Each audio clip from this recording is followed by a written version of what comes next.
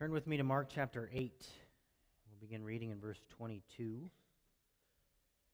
I want to jump right into our text this morning, if you'll allow me to. So let's just begin reading there, shall we, as we pick up where we left off last week.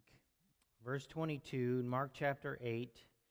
And they came to Bethsaida, and some people brought to him a blind man and begged him to touch. And he took the blind man by the hand and led him out of the village. And when he had spit on his eyes, and yes, that reads correctly, he spit in his eye. That's funny. Or gross. Maybe both. He spit on his eyes and laid his hands on him, and he asked, Do you see anything? And he looked up and said, I see people, but they look like trees walking. Then Jesus laid his hands on his eyes again, and he opened his eyes, and his sight was restored, and he saw everything clearly. And he sent him to his home, saying, Do not even enter the village. Read with me now verse 27. And Jesus went on with his disciples to the villages of Caesarea Philippi. And on the way he asked his disciples, Who do people say that I am? And they told him, John the Baptist, and others say Elijah, and others one of the prophets. And he asked them, But who do you say that I am? Peter answered him, You are the Christ. And he strictly charged them to tell no one about him. Now, verse 31. And he, Jesus, began to teach them that the Son of Man must suffer many things and be rejected by the elders and the chief priests and the scribes and be killed, and after three days rise again. And he said this plainly. And Peter took him aside and began to rebuke him. But turning and seeing his disciples, he rebuked Peter and said, Get behind me, Satan, for you are not setting your mind on the things of God, but on the things of man. And calling the crowd to him with his disciples, he said to them, If anyone would come after me, let him deny himself and take up his cross and follow me. But whoever would save his life will lose it but whoever loses his life for my sake and the gospel's will save it. For what does it profit a man to gain the whole world and forfeit his soul? For what can a man give in return for his soul? For whoever is ashamed of me and of my words in this adulterous and sinful generation, of him will the Son of Man also be ashamed when he comes in the glory of his Father with the holy angels. And we've prayed for our services this morning, so I'm just going to jump right into it, if you will. And I realize that as we read all these verses together, verse 22 down through the end of the chapter, they kind of maybe seem segmented and disjointed, but I can assure you they all go together. They all hint at and teach the same thing. And so here's what I want to do. As we just read all those verses together, I want to jump back up to verse 22 and I want to discuss several firsts that appear in the Gospel of Mark and even in the Gospel records. There are several things that happen in this text that we just read that only Mark records. And there's one in, thing in particular that it's the first time Mark mentions anything like this happening uh, altogether in, in his Gospel. And so let's, let's itemize those real quickly because this is a passage of first in the Gospel of Mark. To begin with, if you're looking back with me at the text, verses 22 through 26, this is the first time a blind person is brought to Jesus. It's the first time Jesus heals a blind person in the Gospel of Mark. Now, we've come across many suffering people, haven't we, along the way in our journey through the first eight chapters. Jesus has healed a deaf and mute man. Most recently, he healed a woman with an issue of blood, a hemorrhage of blood. He healed a man with a withered hand. He's healed paralyzed people, lepers, and countless others with unspecified diseases. The list is long at this point. Ministry has been some two plus years. And so, for two plus years, Jesus has been healing people everywhere he goes throughout the land. We've seen him cast out demons, too, not to mention. He's not just healing physical maladies, but he's also dealing with spiritual maladies as well. And he's casting out demons. And we've even seen him raise the dead, bringing the little girl back to life. But as I mentioned before, this is the first time we see a blind person brought to Jesus. And that's important for us, I think, because of the nature of that ailment.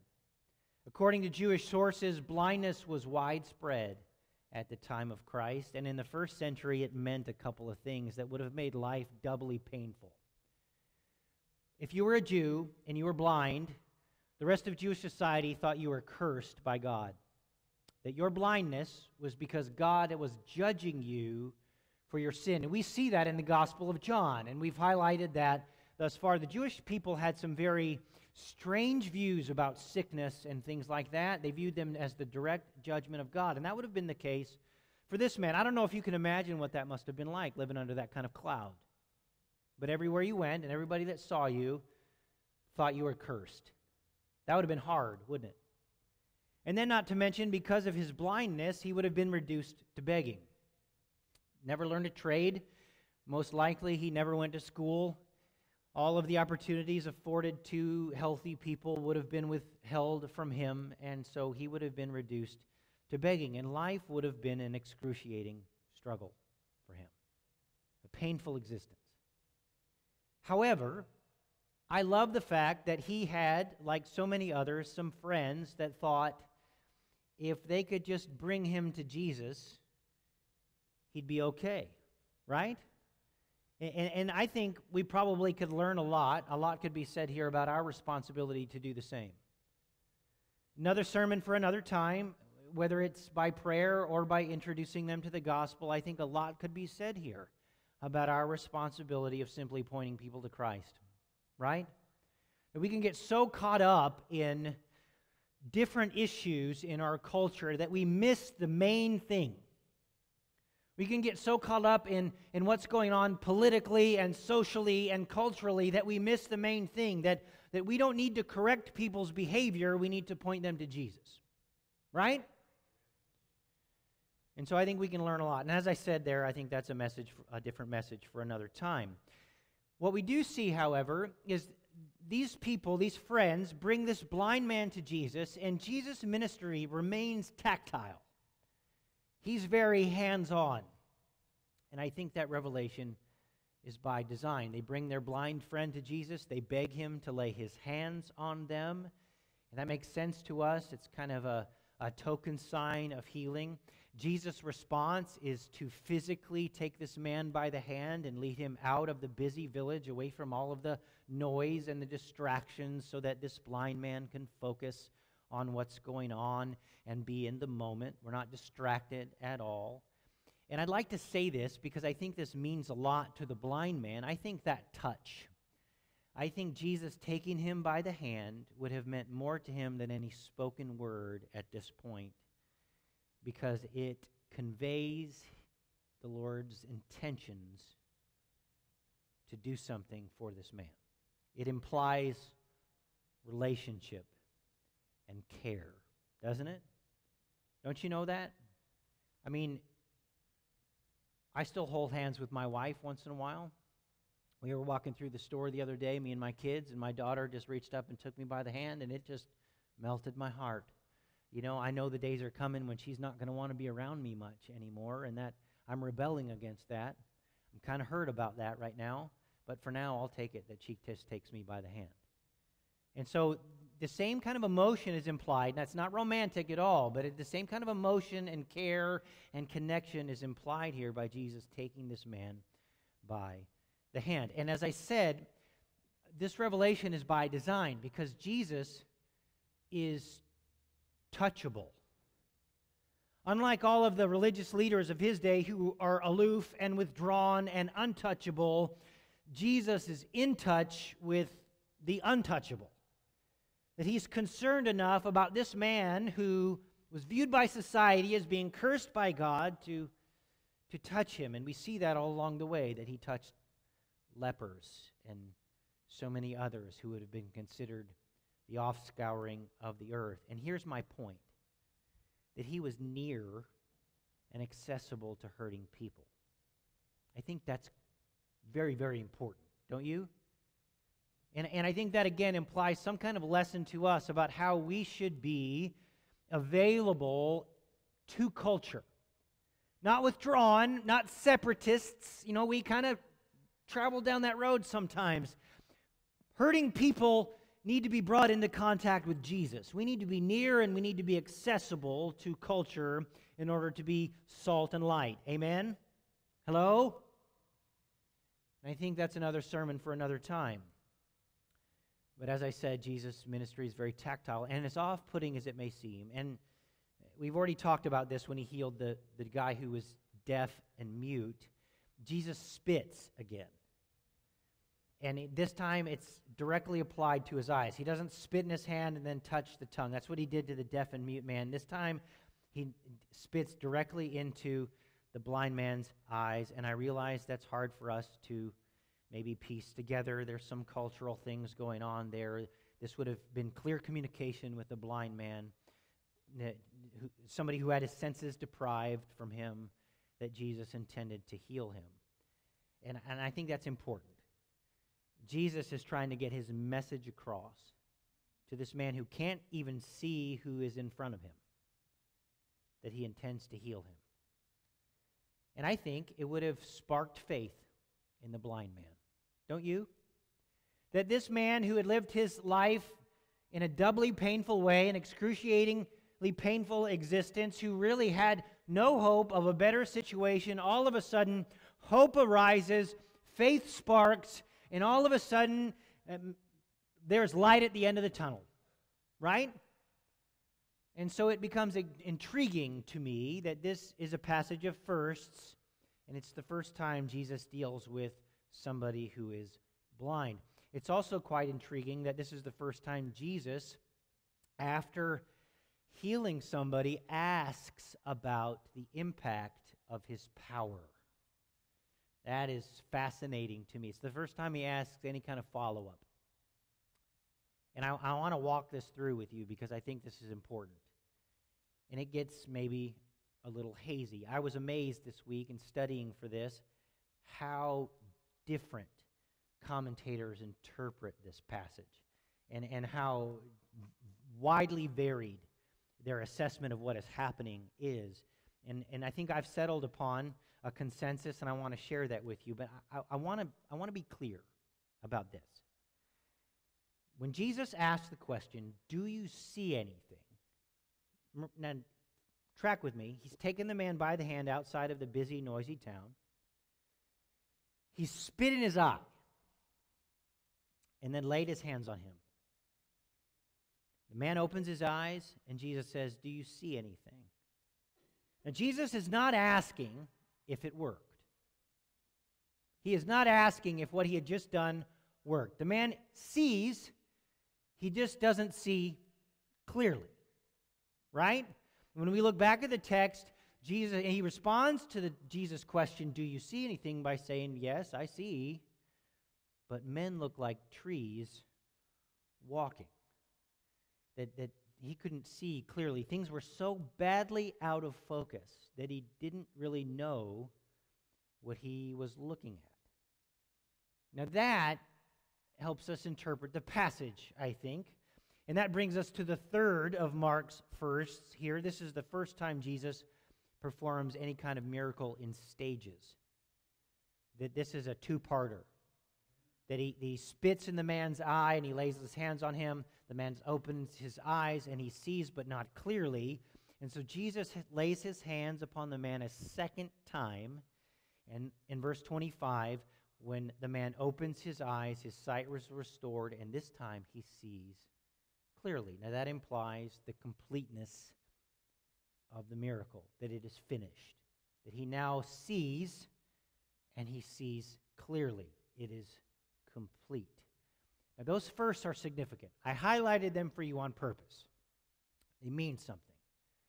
What Jesus does and how he does it meant something to this blind man, and I want to know what it meant to the blind man. More importantly, I think it meant something to the disciples, and therefore it means something to us. And so we have to know what this means. Why did this man not receive his sight restored completely the first time? And why did Jesus perform a second touch, as it were? Why did he heal in stages? What does this mean? Could it mean, as some suggest, that the kingdom of God comes to people in increments, that it rushes upon some people that some people, when they get Jesus, they get all of Jesus, and then some people have to take Jesus in doses and in pieces because that's the assumption of some, and I don't, I don't necessarily think that's it. I think when we're saved, I think we get all of Jesus. That He doesn't give the Holy Spirit to people in pieces, that He gives us all things that pertain to life and godliness. So I don't think that's it. Is it because, as others suggest, that this blind man was lacking in faith? That he didn't believe, and, so Jesus had to do it in, in stages. That the first one sparked faith, and then the second one would have been completion of the faith. That could be. I don't think that's the case because his sight was restored. He just didn't see clearly. Was, as suggested by some more critical scholars, this a hard case for Jesus? Was this something that was too hard for him and that it required a second work on his behalf in order to restore this man's sight? No, no, nothing is too hard for God, right? And, and so what if those are the wrong questions? What if, as we're trying to understand what's going on here, we're not asking ourselves the right clarifying questions? What if it's, it's something altogether different? And I believe, personally, as I studied this through, I believe it had very little to do with the blind man.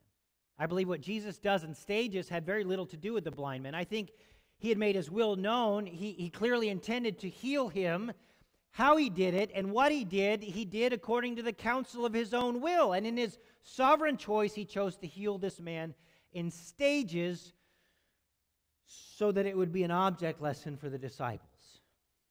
I think what he does, he does not for the blind man, but for the disciples, that it was an object lesson for them, because spiritually speaking, they were so very much like this blind man.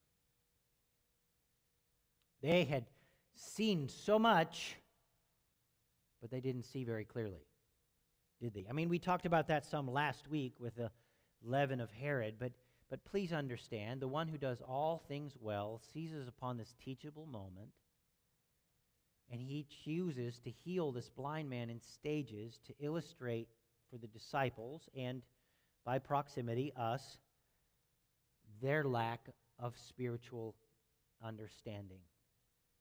They needed to be taught, just like this blind man.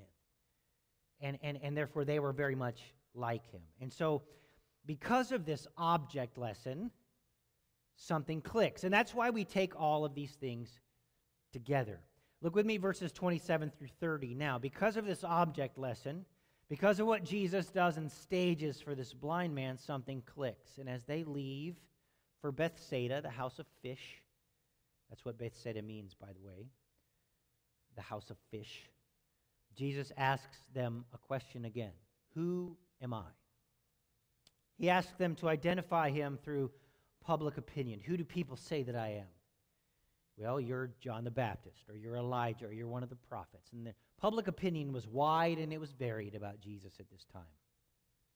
And then he asks them to identify him through their own personal experience. Who do you say that I am.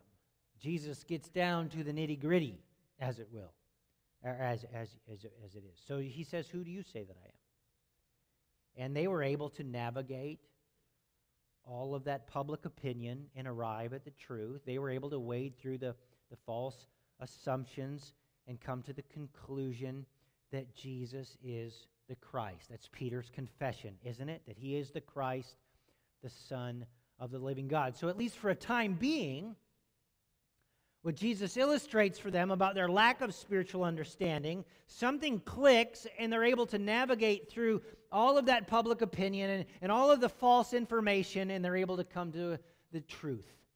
Jesus is the Christ, He's the Son of the living God.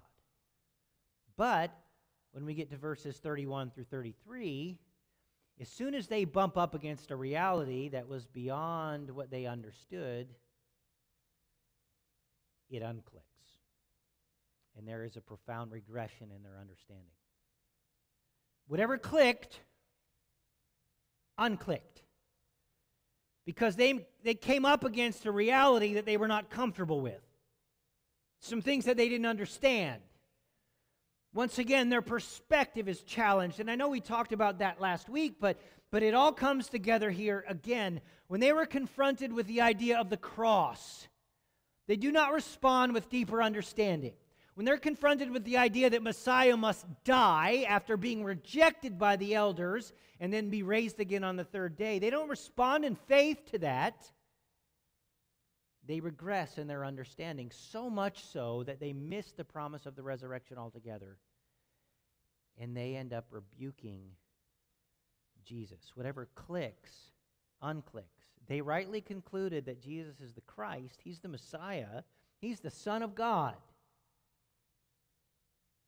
But as soon as they bump up against the reality of the cross, whatever clicked, unclicked.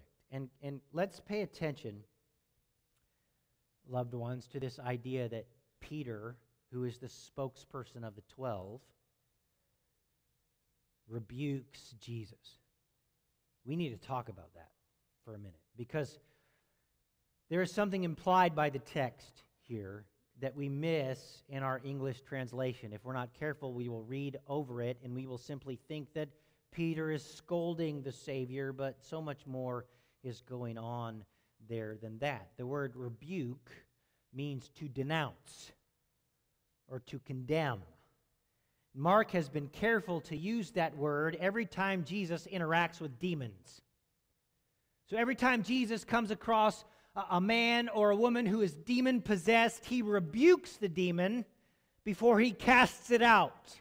That he denounces it and he condemns it, and then he casts it out. And so Mark uses the same word here to describe Peter's denunciation and condemnation of the cross, of the death, burial, and resurrection of Messiah. And so we need to consider this censure in light of Peter's confession. Peter just concluded with the 12 Jesus is the Christ, that he is the Son of the living God.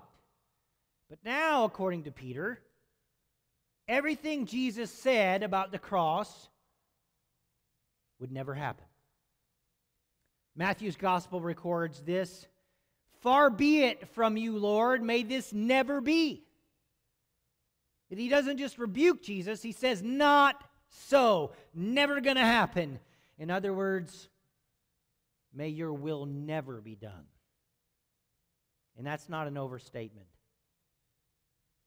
And, and, and so they're, they're having to come to terms with, once again, what was assumed to be true about Messiah. The promised Messiah was commonly thought in Israel to be a, a, political, nationalistic figure who would depose the Romans and establish again the throne of David and sit upon that throne, and, and all would be right in the Jewish world. That they would go back to their glory days under David's kingdom and the kingdom of Solomon when everything was united and peaceful and they had driven out their enemies and conquered them. And that's what Peter was thinking about the Messiah. There's no way Peter's idea of Messiah, there's no way he would suffer. There is no way he would die at the hands of sinners. And so Peter recoils at this thought because this isn't who he thought Jesus was. This isn't what he expected. This isn't what he believed. And so, like the blind man, he saw, but not clearly. He needed help with his understanding, right? He needed to be taught. And, and, and so this time it happens, Jesus isn't so patient with them this time. If you jump back up to verses 17 through 21, when they thought Jesus was talking about bread, when he was talking about the leaven of Herod and the leaven of the Pharisees, Jesus says, Do you not yet understand? He's very patient with them there in that conversation in the boat. That's an invitation for them to open up their eyes and, and look and see the truth and come to a conclusion there and, and be taught. Instead, here Jesus responds in kind. Peter rebukes Jesus, denounces and condemns him because of that notion of the cross. Jesus responds in kind Get behind me, Satan.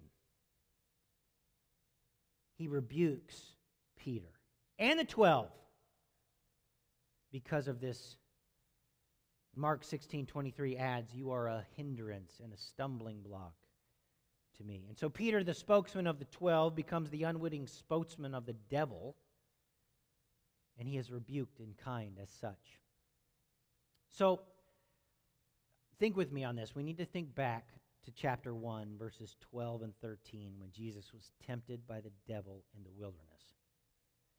And I, I know I'm asking you to remember back a, a, long time, several months ago, but, but remember what he did. We, we turn to Matthew's Gospel, Matthew chapter 4, and we find out a whole lot more about that temptation that three different times Satan presents Jesus with different options. Command that these stones be made bread. You know, and, and you've been fasting for 40 days in the wilderness. You've had no food and no water. You're no doubt hungry, so just turn these stones into bread. Take matters into your own hands. And, and, you know, Jesus rebuffs that with the word of God. He takes Jesus and shows him all the kingdoms of the world. and Says, if you'll just bow down to me, I'll give them to you. He takes Jesus to the pinnacle of the temple, invites him to cast himself down and put the Lord to the test.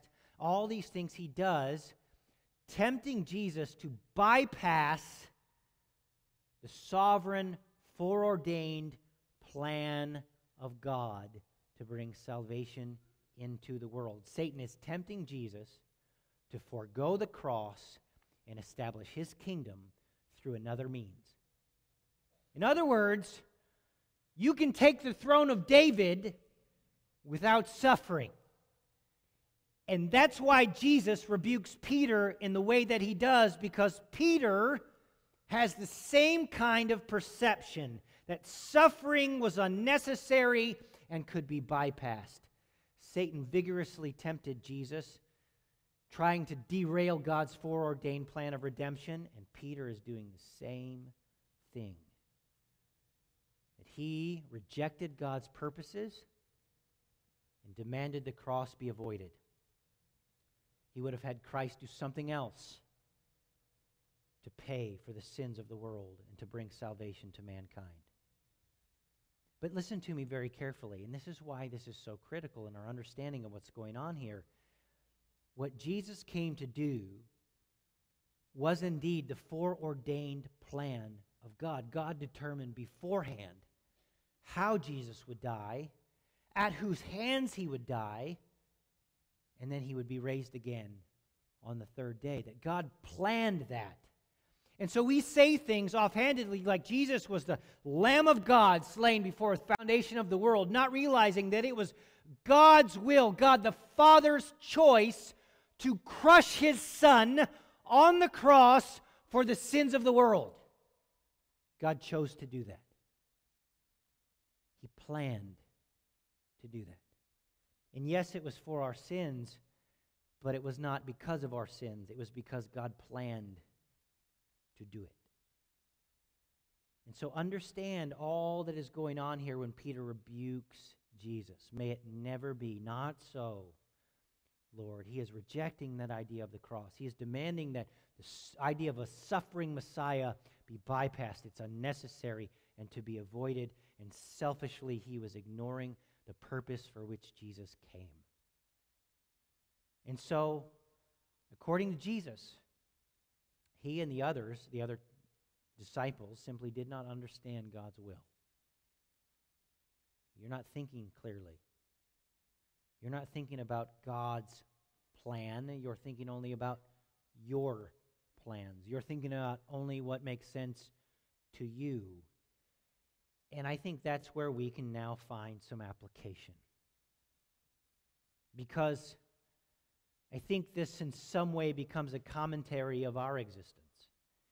It becomes a commentary on the things that we face, not just in those crucible moments, those catastrophes when, when things are bad and we don't know if they're going to get any worse, but in, in the day to day, when we butt up against a reality that we don't understand. I think this becomes a run, running commentary on our own existence. And so we don't need to just understand how the disciples were like the blind man. We also need to understand how we are like the disciples and thus also like the blind man. Because, can we be honest for a minute, loved ones? Look at me for a minute. Sometimes we don't see very clearly, do we? Sometimes my focus is extremely hazy and unclear. And, and, and because of that, things get out of whack. That, because I'm not seeing clearly, because I don't, I'm not clairvoyant, and, and, I, and I can't see the end from the beginning, that, that, that things get out of whack because they're out of focus. And my understanding can be so limited, just like yours, that, that I need help in understanding. And, and we talked about that last week, that, that when we need wisdom, that we can ask our generous God who gives without reproach, that he never reproaches us for asking for wisdom. But alternatively, and I think this is where we find Peter, and this is where we sometimes find ourselves, sometimes we don't treasure God's purposes either. Sometimes we treasure our own. And because of that, we think we can secure his blessing through another means other than that which he's prescribed.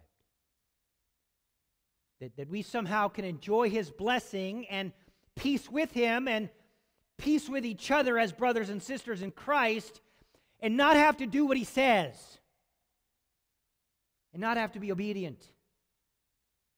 If faith plays little role in the day to day because we don't treasure God's purposes. We think the work that God intends to do in us can be accomplished through another means other than suffering. That suffering in our lives should be avoided,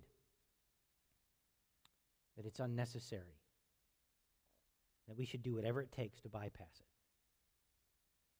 And, and by the way, we have built that into our existence these layers of protection, insulating us from the struggle, insulating us from suffering. And yet, it is through suffering that God brings us into a deeper knowledge of our Lord and Savior Jesus Christ. Philippians chapter 3 and verse 10 says that we know him through the fellowship of his sufferings.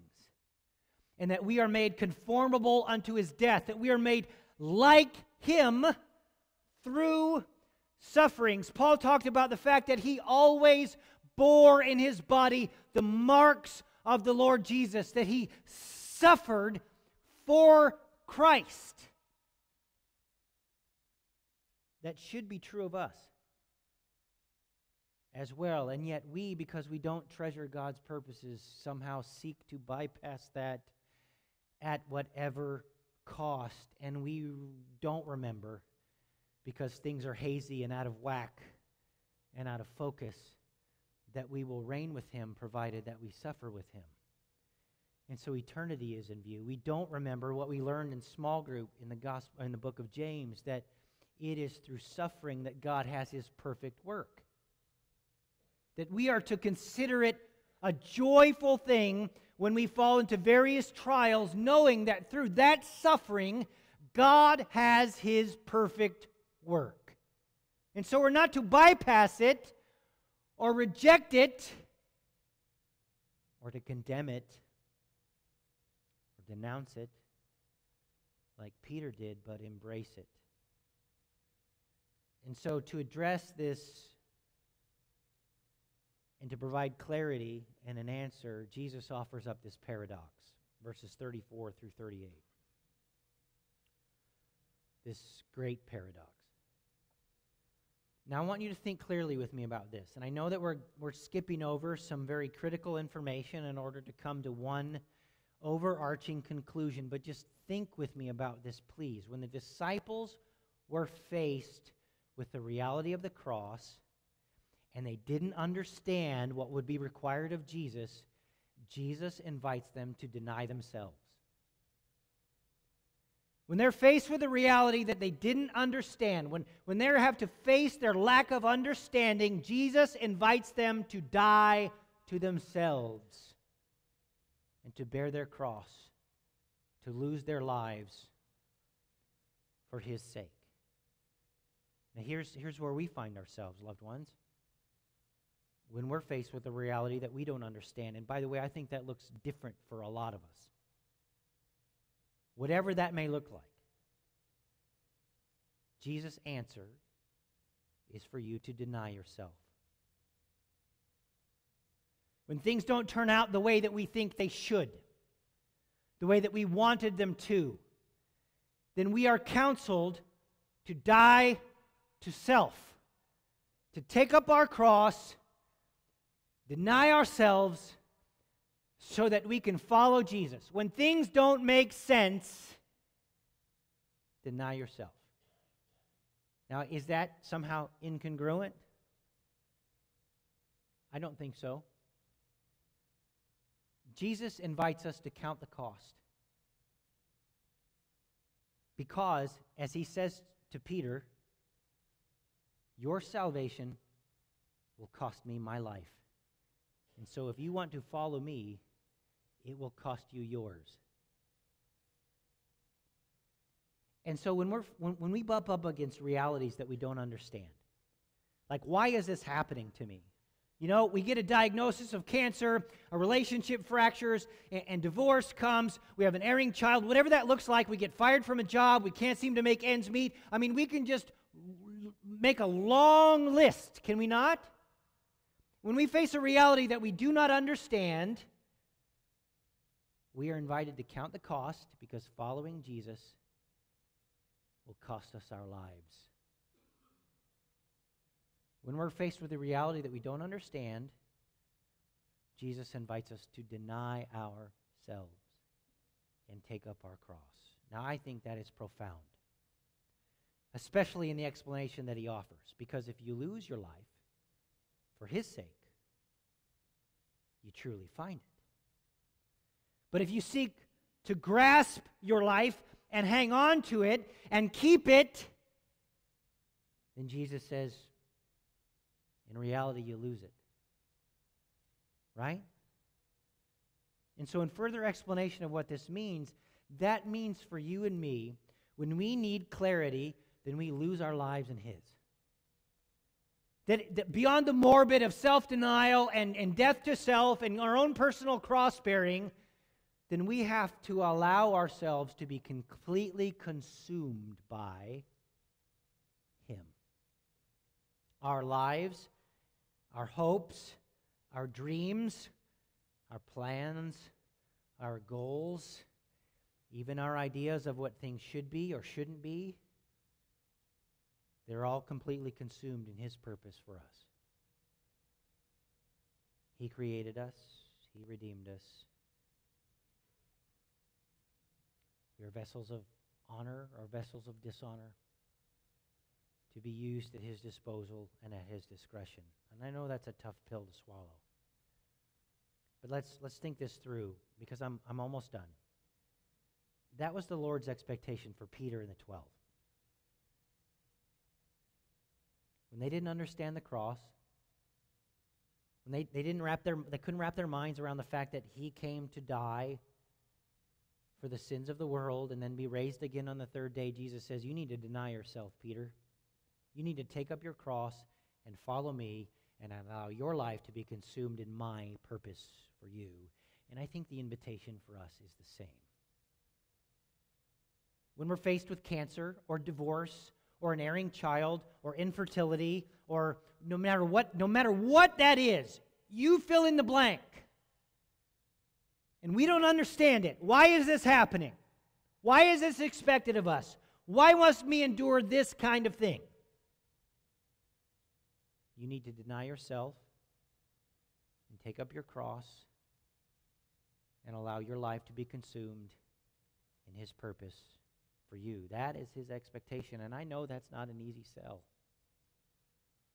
We live in a culture that has sold Jesus cheap, that we can add Jesus to a busy life, to a full plate, and we can expect nothing but blessing and nothing but the you know life is just going to be dreamy. We can live out the American dream life, liberty, and the pursuit of happiness, that we're going to be wealthy and, and, and everything we're going to ever, ever wanted is just going to be at our disposal if we just add Jesus to our lives, and that is baloney. I have a stronger word for that, but I can't say it from the pulpit. It's baloney. Jesus' invitation to you is to take up your cross and deny yourself in order to follow him.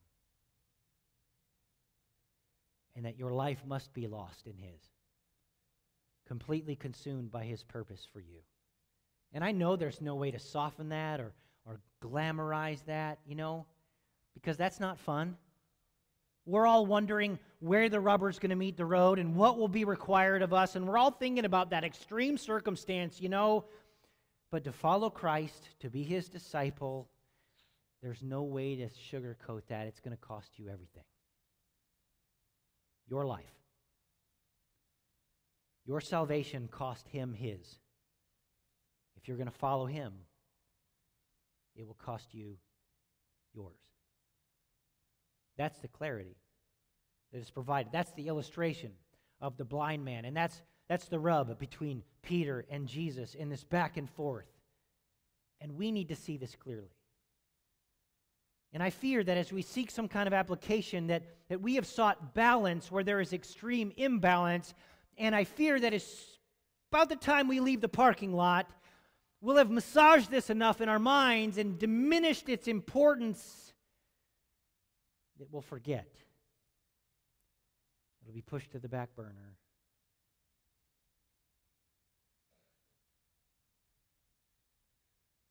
Get carried away by the haze.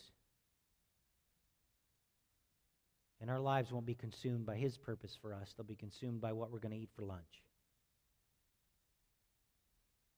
or what we're going to do Monday morning. And those kinds of things, look, I get it. Food is important. I love, I would be willing to bet that there's not a person in this room that likes food more than me. But that's temporary. Right?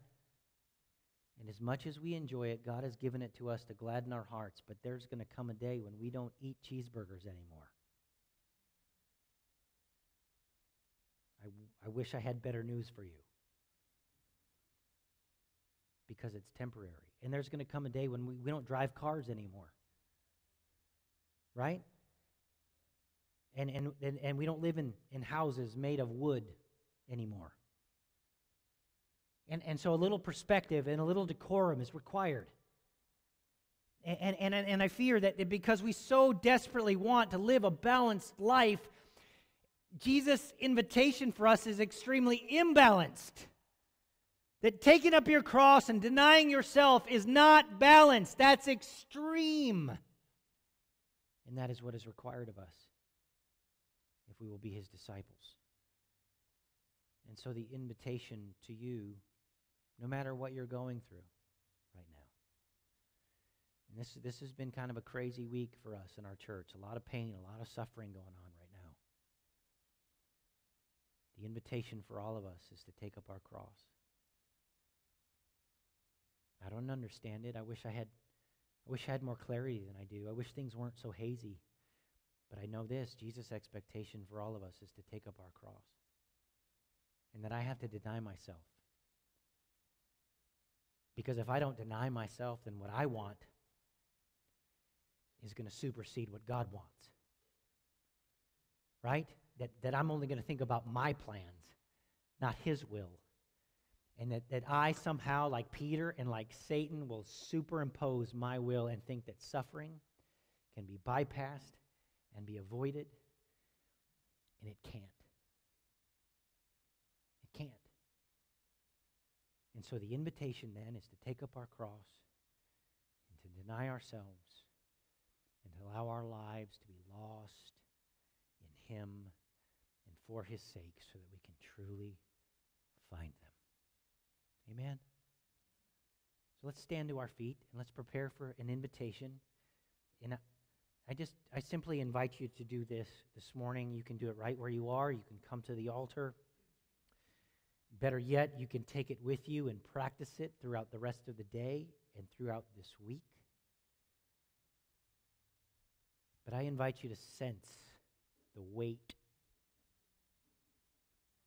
of what Jesus is inviting you to do.